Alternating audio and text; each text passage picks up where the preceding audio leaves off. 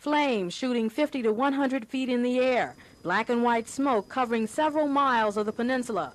That was the scene October 1st, 1981, when the Army Pier at Fort Monroe caught on fire. From Chopper 10, the site of ground units, both military and civilian, fighting the blaze.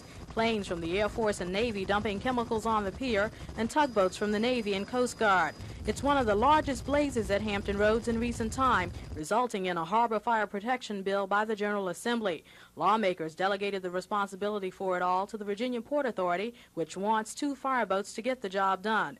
VPA Deputy Executive Director Jack Stroud. Well, there's been a need for a considerable length of time because the fire protection has been handled by the commercial tugs and Navy tugs over the years, but those tugs may be in use uh, on their regular mission at the time of a fire, and also, of course, they are slow. What we're really looking at, we think, is a modification of a, an oil platform crew boat or some type of high-speed work boat.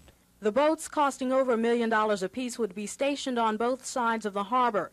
This artist rendering is typical of the vessel the VPA wants, with 17 outlets for spraying foam and water, fully equipped to handle any harbor blaze. The crew would consist of Port Authority employees, but the firefighting would be left up to units from the Tidewater cities. Next month, the Port Authority will be going to Richmond asking the state to fund the fireboat project.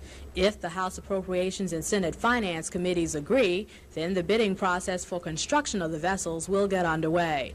In Norfolk, Ava Hurdle, The Daily News.